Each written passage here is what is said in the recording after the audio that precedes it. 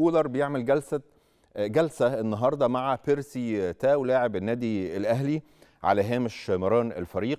بيرسي تاو زي ما إحنا متابعين مؤخرا بيشهد يعني اللعيب في طفرة في الأداء بتاعه بيرجع بيرسي تاو اللي إحنا عارفينه من زمان بيلعب بشكل مستريح. ليه؟